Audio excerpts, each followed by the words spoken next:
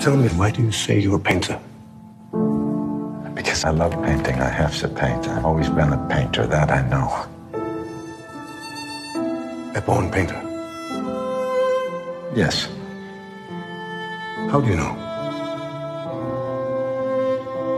Because I can't do anything else, and believe me, I've tried.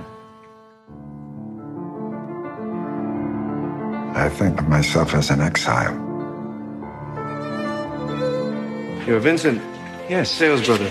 I'm Paul Gauguin. We have to start a revolution. Do you understand? We have to create a new vision, a new way of painting. I spent all my life alone in a room. I'd like to find a new light for paintings that we haven't yet seen. There's something inside me. I don't know what it is. What I see, nobody else sees.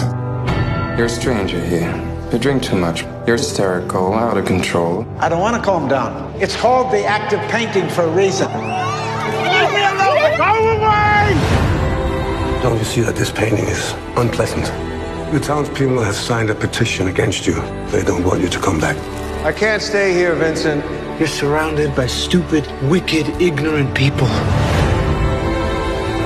So that's the reason why you cut off your ear.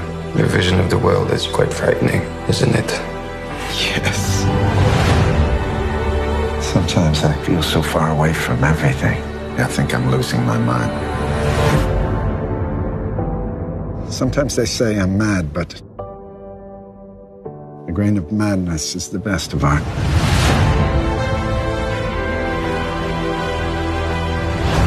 Do you believe that God gave you the gift of painting to keep you in misery? I never thought about it that way. Maybe God made me a painter for people who aren't born yet. Tell me, brother, am I a good painter? You're not a good painter, Vincent. You're a great painter. I wanted so much to share what I see. Now I just think about my relationship to eternity.